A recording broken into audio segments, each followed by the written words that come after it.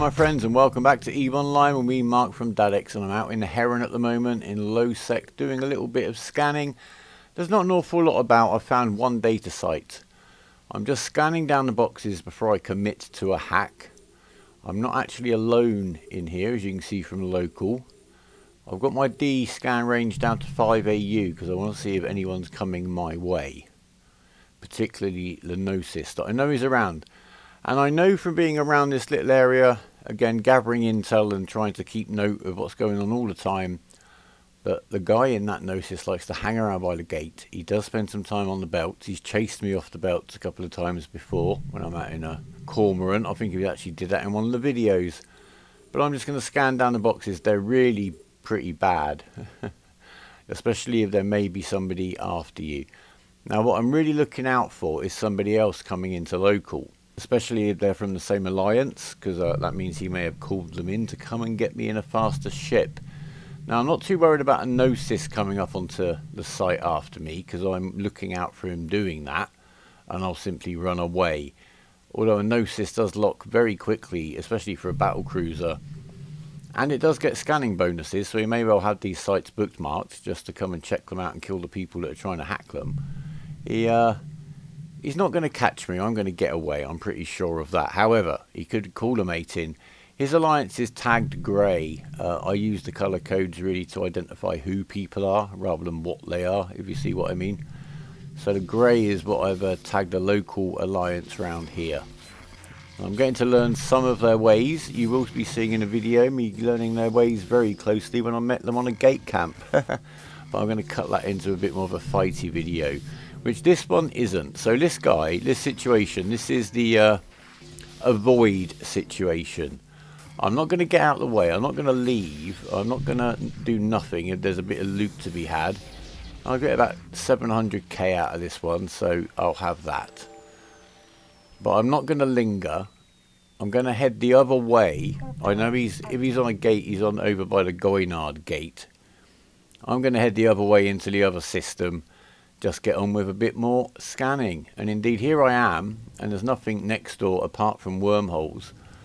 I can see on my D-scan from here the gate in from the previous system, so if uh, Spider Kovacs follows me in, I will see him immediately on my D-scan as well as in local. But we can keep an eye on the gate, which is always handy. Nothing in here but a trio of wormholes, which could be handy to pop in and have a little look. You've seen us do that before, and that can be very profitable. If there's nothing in your little local space, pop through a wormhole, grab some loot, suck some gas, have a different kind of day. But now we've got a Hecate on the D-scan. He's come through the gate, and I recognise this guy Jim, and I'm now got my eye out. I'm even I'm extending my D-scan because I'm expecting combat probes. There seems to be a, a, bit of a trend at the moment for Hecates with combat probe launchers, expanded probe launchers I should say. He's not got a significantly low security status, but maybe he's just learning his trade. But anyway, let's keep an eye out. We're going to D-scan a lot more. And I'm ready for the combat probes to pop up. Now remember, they have to scan me down in exactly the same way as I'm scanning down these signatures. So if I keep my D-scan range down, I'm going to see them getting closer to me. And now you can see his probes on there. I'm going to bring the range down to 5 AU. Now, if I get his set of combat probes all on that D-scan, I know he's getting pretty close and it's time for me to move. But I am going to linger around here till that happens. I like to make myself a pain. But this is definitely an evasion situation. I don't want this guy getting on grid with me. Blaster Hecate, and I'm going to assume it's a Blaster Hecate I'm just going to melt my heron in seconds. But they put out a lot of DPS. But there are the set of combat probes on my D-scan. So I'm going to move over to my other safe. His ship is then going to just sit on my D-scan, which means I'm on his D-scan. The question is that I'm going to just sit here and wait to get the answer to, I think, is whether he's going to move his probes over and carry on trying to scan me down. How persistent is the guy is what I'm finding out here. I'm also keeping an eye on local again in case he's called in a mate. You have to be aware that the locals may have all of these sites pre-bookmarked. They might not have hacked them deliberately. They might not want the loot. They might be after the kill. So somebody else has indeed come into local. So I'm just going to warp away anyway. But as I do so, I check the D-scan and you know the combat probes are on their way into me again. But I'm confident in that situation that I'm kind of in control. I'm not going to let him get those probes close to me. It's another reason uh, why you want to move your safe spots now and again because the more you get probed down on your safe spot, the better an idea somebody is going to get of roughly where your safe spot is, which means next time they scan it down, they're going to do it even quicker. I'm out on the belts now in the Corax. This bit of footage is at two times speed, just in case you get confused. I'm doing a bit of belt ratting. I'm actually trying light missiles with a small shield booster. Now the advantage of the light missiles is you've got a great range. And uh, as you can see there, I've killed the two rats from far, far away. Now I've got to get over there, and I can only have an afterburner with the Tech 2 light missile launchers fitted on there and the shield booster, etc. And the uh, cap battery. We'll have a look at the detail of the Corax in its own little video. I'm messing around with this fit. This has its advantages, which is you take a lot less damage because you can kill stuff from range. Uh, this is the slow bit, especially with the smaller rats, because you kill them so quickly, you spend a lot of time just slow boating over to them. But if they're going to drop me pink modules, I'm more than happy to do that. It's just about the amount of time you're spending on a belt and there's nothing more frustrating than getting chased off a belt when you've killed the rat already. That's an NPC miner I found. Never aggress lows unless you're ready to aggress lows. We'll have a look at what happens when you do one day. The kill board in this system, it's steady. And that's keeping the bounty bonus up to about 148% at the moment, which is very nice. Anyway, as I was saying, with the bigger rats, like this battleship, because they take longer to kill, you've got time to be in close by the time they blow up. Um, I usually orbit those at about 2,500 meters. You don't take any damage when you're in close. And you're right there to grab the loot and go away by the time they die. And it will take three or four minutes. I've got about 170 DPS with rage missiles. Uh, if I overheat, it's just under 200. But uh, it can do the job. The problem you're going to have is you're not going to be able to kill the clones in a 0.2 or 0.1. We're not going to be able to break their tank. Now the clone soldier I've got here, we can take him down. There's no great problem. He gives us a bit of damage on the way in, as we'd expect. But once we're in close, we do a bit of repping. And the advantage of the repper, I guess, is that you can uh, be a bit more self-sufficient. You don't have to sit around waiting for your shields to recharge if you do take some damage.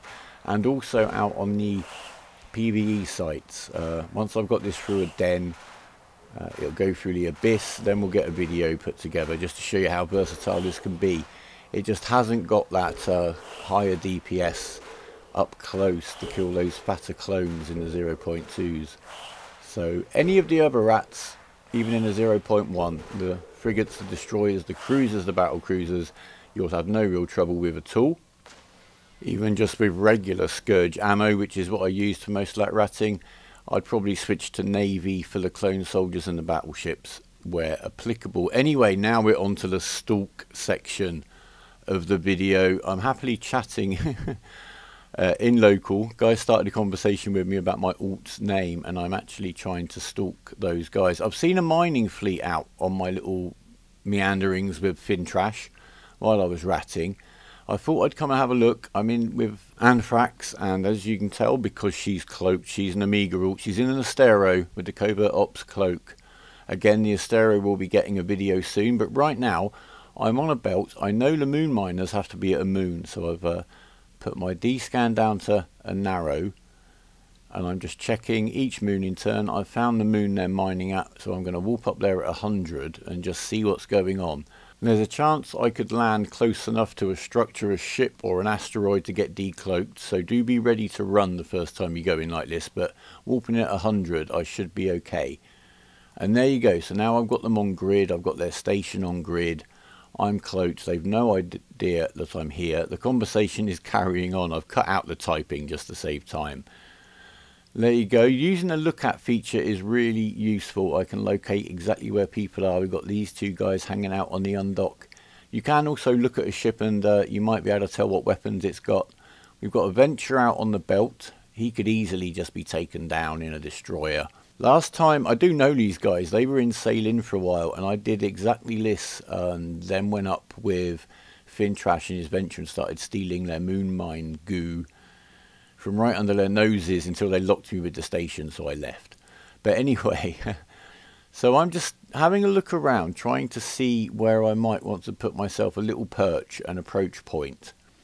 I'm having a nice conversation with the guys, and I may come back and obviously attack these guys. And the fact we've had a conversation, it's low sec. They're not going to be too annoyed that it, you know low sec stuff happens. Don't be scared of attacking people. It's one of the reasons I don't really make a big effort to get blue with all the locals around where I'm flying. Because if you're blue with everybody, it gets a bit dull. To be honest with you. I like it. Um, you know, just be nice and respectful to people, chat to people, and then happily kill them, and one day they'll catch you. That's how I see it, anyway. Right, so let's have a look at what's going on around here. You can see the moon just up, behind the station. So um, I've shown you moon mining before. The station basically shoots a big laser into the moon, breaks a chunk off, and then tractor beams it over here so there's going to be a whole belt of the moon mining stuff here. So if we look on the mining tab, there you go. We can see all these asteroids. The Venture's gone back out there, so we can have a look in on him.